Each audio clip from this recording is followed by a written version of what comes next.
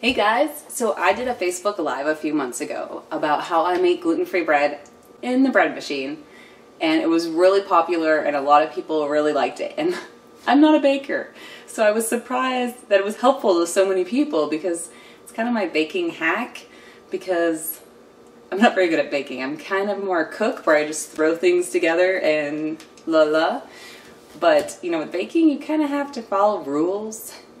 I'm Not very good at following rules. But doing this is really easy. So I know there's a lot of people out there who do gluten-free. We've been on this journey for a few years. My husband has severe issues, and I've been gluten-free for a while. My brain just thinks better. I don't know. I don't get as achy. I feel better. I'm telling you guys, what we eat affects us so much. So I don't feel like everyone should go gluten-free. I mean, that's up to what makes you feel better.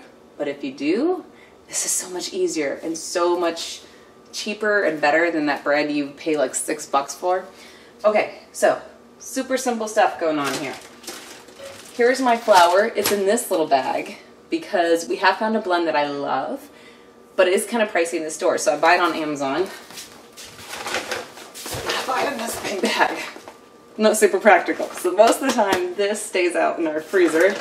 This is Pamela's bread flour. And I use this for pretty much most of my baking.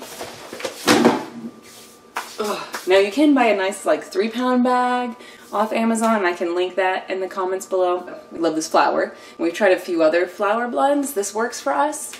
So, you know, when it comes to gluten-free stuff, like if I find something that works, I'm not gonna change it for a while. I'm just gonna go with it.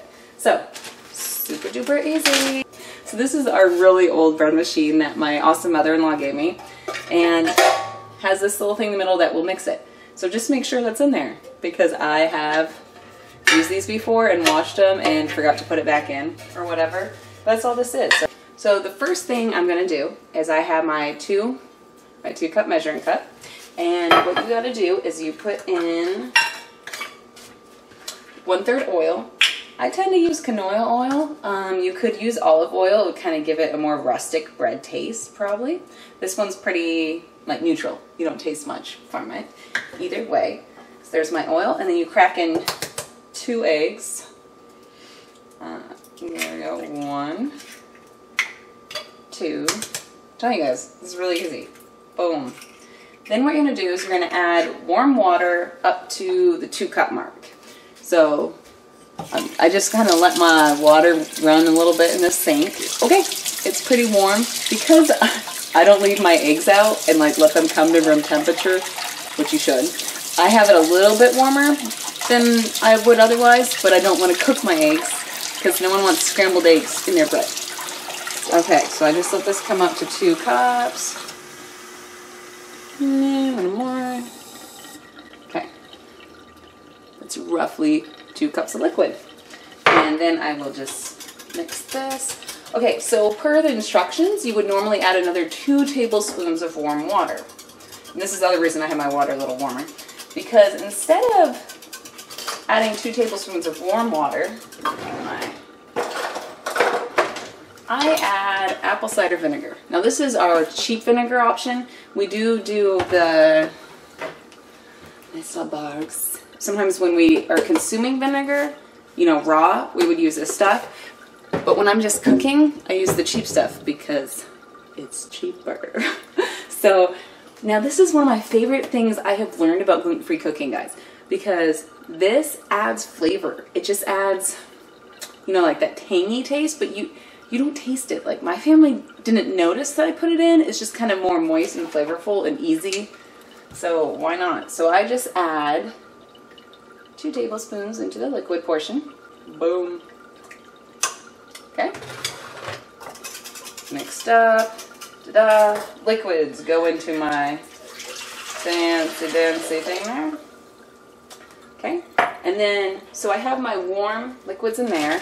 And then per the instructions on my little bread machine thing, you put in the liquids, then you put in your flour, and then you put your yeast on top. So this is going to be three cups of my flour mix. Now salt is in here and a little bit of sugar, like just a tiny bit, is in here so I'm not adding extra of those things. Sugar of course is important when you're doing products that you create baking things that you want to rise because yeast needs warmth, wet, and sugar to help it rise. So you do usually have to have some kind of sugar thing in there to help your products rise. Okay. Boom. And then we just add uh, a pat. You can do a packet of yeast or two and a half, two and a fourth teaspoons of yeast.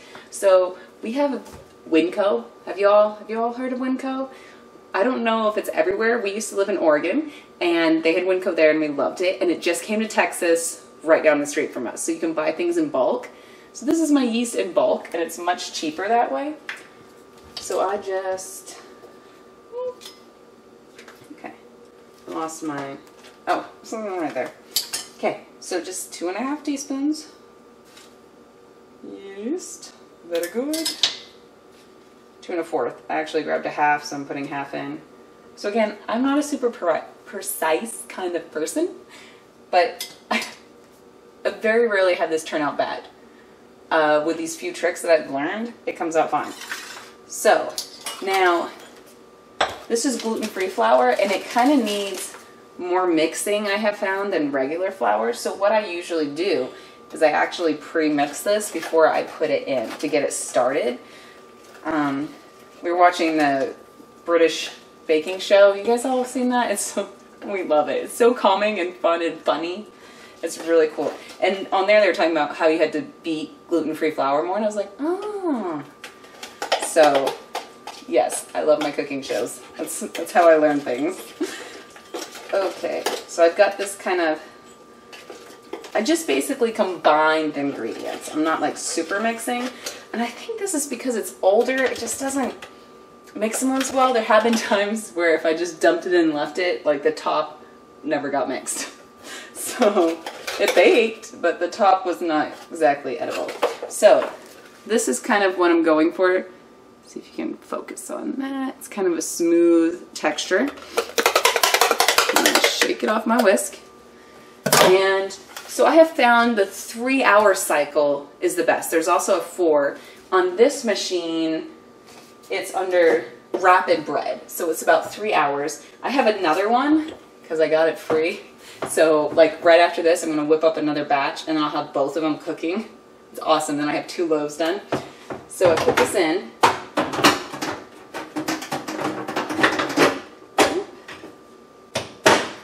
menu, rapid bread, start.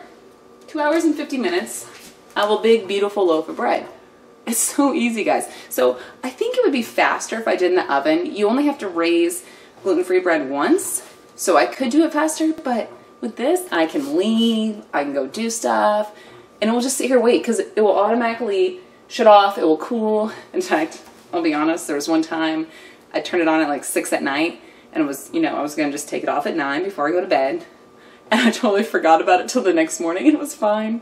I mean, this is gluten-free bread, so, you know, the texture isn't exactly the same as regular bread, but when it comes out, it totally has that like homemade bread like smell and warmth and it's so good with just warm with, you know, honey and butter.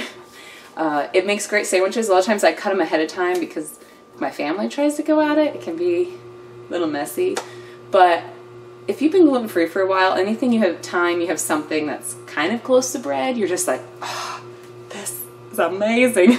and that's what how it is for me. So, uh, and my husband, we hadn't, I started doing this like six months ago, like really doing it. And he was just so excited that there would be like bread in the fridge, you know? Oh, and another trick that we have learned when I'm making for my daughters like sandwiches, you want to toast it and then make the sandwich and then you can it will be good later because it just the texture holds up better if you've toasted it. And then it will make a good sandwich afterwards versus the dry. And probably a lot of you gluten-free people know this. It also makes fantastic french toast because it will really like let it sit maybe even overnight and that stuff and it'll be so it really soaks up a lot because it can be a little dry.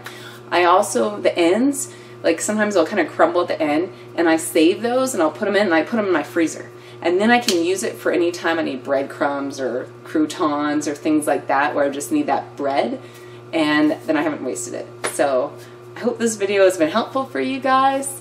Uh, please comment, tell me what you guys think. What do you guys do for your gluten-free things? I'd love to hear that. Uh, like and subscribe to this video, and let me know if you have any questions. Thanks, everyone.